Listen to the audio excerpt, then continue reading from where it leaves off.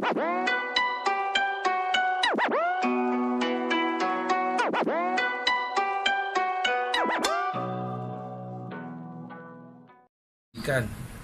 pastinya ini bakal meletup dan meledak di Pawagam tidak lama lagi. Eh, no, 14 hari bulan. Esok, hari ni. Ha? Esok. Esok. Esok. Esok 14 hari bulan. Bikers Kental akan berada di di yang berhampiran dengan rumah anda. Jangan lupa saksikan, saksikan Bikers Kental ni. Gila babi ni.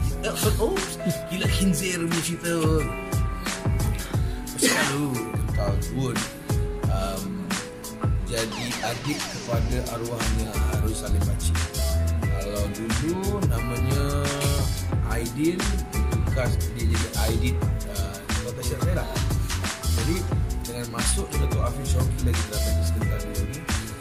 Dato' Afif Syauqi juga seorang bikers so menguatkan lagi rentak bikers Ya, perjalanan kami pergi ke Phuket untuk menyelamatkan uh, Bidin yang mana Bidin ni telah terancam nyawanya di sana.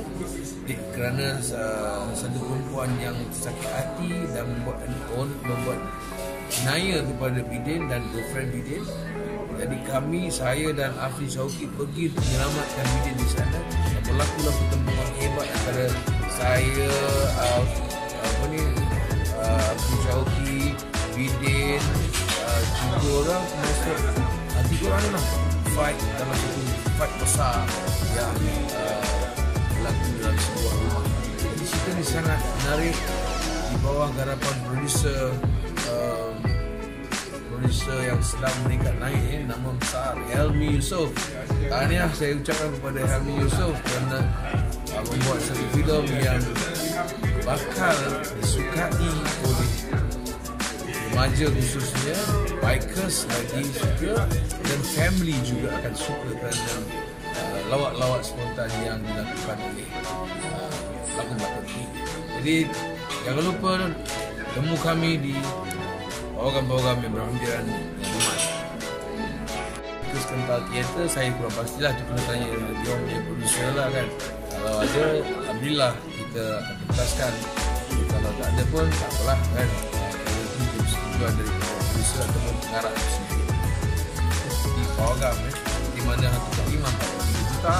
Uh, dan ini juga saya harapkan uh, satu uh, kebanggaan bagi Sental 2 ni uh, saya mengharapkan satu kejayaan uh, yang setara Hantu Tak Lima. Uh, jadi saya menyeru kepada semua penyokong-penyokong uh, industri filem tanah air supportlah filem terkini supportlah filem tanah air. Uh, supaya pengarah-pengarah uh, ataupun producer-producer dapat lebih kreatif lebih keluar dari filem-filem